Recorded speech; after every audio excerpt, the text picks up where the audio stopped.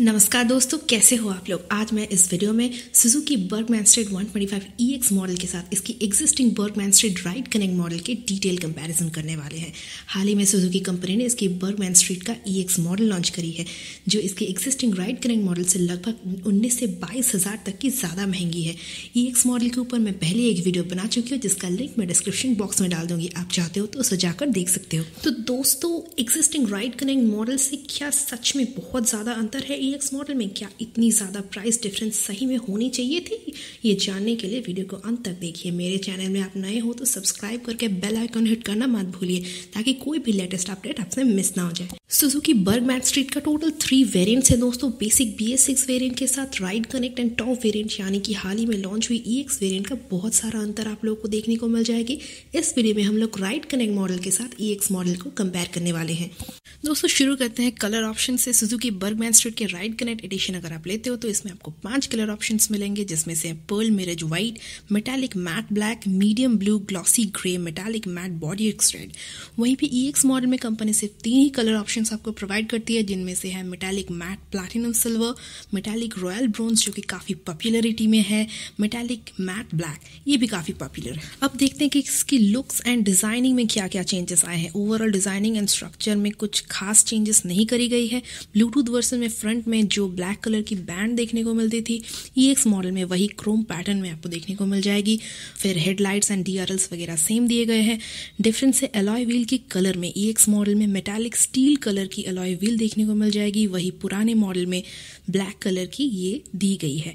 Front wheel में जो भी चेंजेस हैं, उसके साथ ई एक्स मॉडल में floor board and body panel brown finish में आपको देखने को मिल जाएगी। वही ब्लूटूथ मॉडल में फ्लोर बोर्ड बॉडी पैनल वगैरह एकदम ट्रेडिशनल ब्लैक कलर की फिनिश में आपको मिलेगी।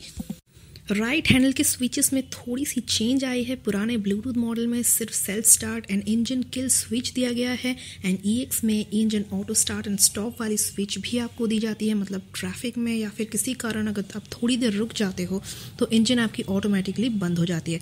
फिर थ्रॉटल को घुमाने से ऑटोमेटिकली इंजन आपकी हो जाएगी स्टार्ट फ्यूल सेव करने के लिए ई एक्स वेरियंट में ये जो फीचर है ऐड किया गया है, वो काफ़ी शानदार मेरे को लगती है। दोनों में ही सेम डुअल टोन की सीट आपको मिल जाती है। एग्जॉस्ट के फिनिशिंग में थोड़ा सा चेंजेस आपको देखने को मिलेंगे। ब्लूटूथ मॉडल में नॉर्मल ब्लैक कॉन्टोरिंग मिल जाती है। वहीं ई एक्स मॉडल में मेटालिक बॉर्डर एजिस में आपको देखने को मिल जाएगी। पीछे बॉडी पैनल के जो बॉर्डर्स है, उसमें भी आपको क्रोम पैटर्न देखने को मिल जाएँगी। एंड ई एक्स मॉडल में रियर व्हील के ऊपर रबर का एक गार्ड लगा हुआ है। एंड जो मशीन्स एंड वायर्स वगैरह है, उसके ऊपर भी एक छोटा सा गार्ड आपको देखने को मिल जाएगी, जो ब्लूटूथ मॉडल में नहीं था।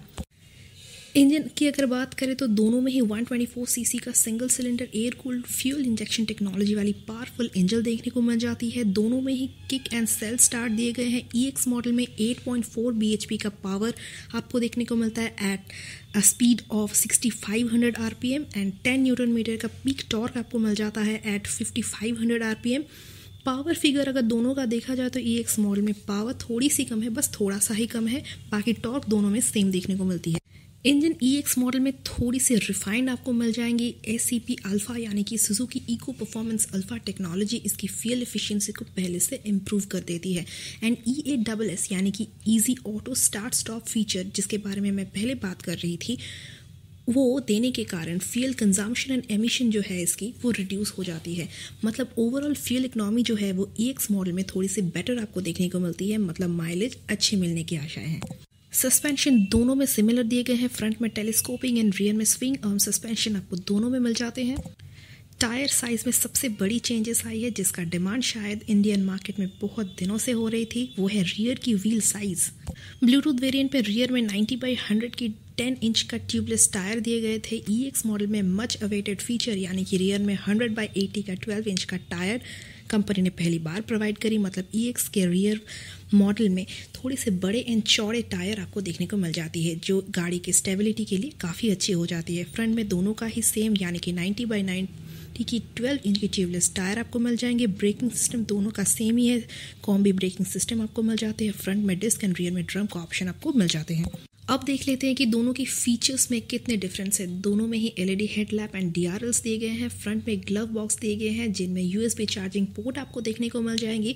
दोनों में ही फुल्ली डिजिटल इंस्ट्रूमेंट क्लस्टर दिए गए हैं Bluetooth connectivity and GPS and navigation के सारे फीचर्स इसमें आपको देखने को मिल जाएँगे, जिसमें से turn by turn navigation missed call alert caller ID SMS and WhatsApp alert ET update speed exceeding alert phone battery level display odometer clock low fuel indicator ये सारा फीचर्स आपको दोनों में ही कॉमन देखने को मिलेंगे। यहाँ पे एक इंपॉर्टेंट अपडेट है सुजुकी राइड कनेक्ट ऐप से बर्गमैन स्ट्रीट ब्लूटूथ वर्जन में आप सिर्फ़ एंड्रॉयड फ़ोन को ही कनेक्ट कर सकते थे, लेकिन ई एक्स मॉडल में पहली बार आईफोन को भी आप कनेक्ट कर सकते हो। राइड कनेक्ट ऐप अब एंड्रॉयड एंड आई दोनों में ही अवेलेबल हो चुकी है। ये कंपनी का लेटेस्ट क्लेम है, यानी कि ई एक्स जो वेरियंट है, उसमें आप अपने एंड्रॉयड एंड आई दोनों डिवाइस को ही कनेक्ट कर सकते हैं।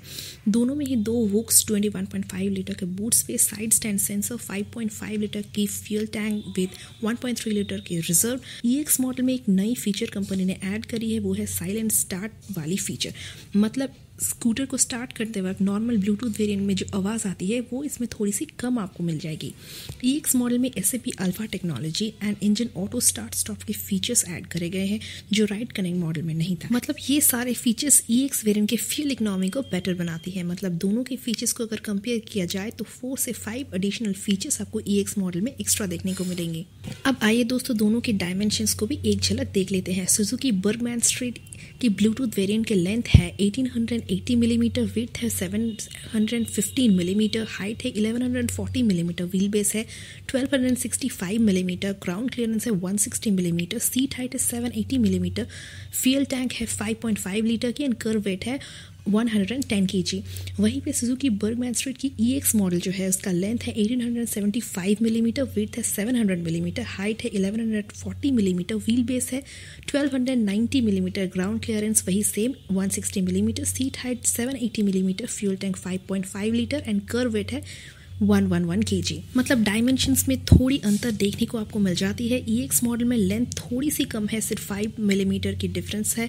विथ ई एक्स मॉडल में आपको कम मिल जाती है। हाइट दोनों में लगभग सेम ही है। व्हील बेस भी ई एक्स मॉडल में थोड़ी सी ज़्यादा आपको मिल जाती है। ग्राउंड क्लियरेंस दोनों में सेम है। फ्यूल कैपेसिटी भी सेम है दोनों में। ई एक्स मॉडल में एक के जी आपको हेवी आपको देखने को मिल जाती है। फाइनली देख लेते हैं दोनों की प्राइसिंग को। दोस्तों फाइनली देख लेते हैं दोनों की प्राइसिंग में कितना ज़्यादा अंतर है। बर्गमैन स्ट्रीट ब्लूटूथ वेरिएंट की एक शोरूम प्राइस दिल्ली में 93,000 से स्टार्ट होती है एंड ऑन रोड करीब करीब वन लाख नाइन थाउज़ेंड तक बढ़ सकती है। बर्गमैन स्ट्रीट ई मॉडल की एक शोरूम दिल्ली का price one lakh twelve thousand से स्टार्ट होती है and on road one lakh twenty eight thousand पड़ती है। मतलब नाइनटीन थाउज़ेंड तक की प्राइस डिफरेंस दोनों दोनों मॉडल में आपको देखने को मिल जाती है।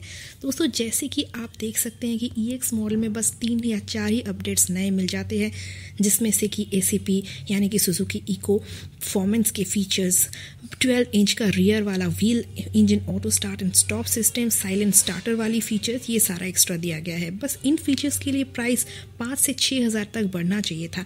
लेकिन सुजुकी कंपनी ने ई एक्स मॉडल की प्राइस काफ़ी बढ़ा दी है। दोस्तों, इसके बारे में आपका क्या कहना है, मुझे नीचे कमेंट करके आप बताइए। जाने से पहले दोस्तों वीडियो अच्छी लगी तो मुझे एक लाइक कर देना शेयर भी कर देना। चैनल पे नए हैं तो चैनल को सब्सक्राइब करना भी मत भूलना। मिलते हैं अगले वीडियो में। तब तक के लिए खुश रहिए, मस्त रहिए take care and safe riding करिए। Bye bye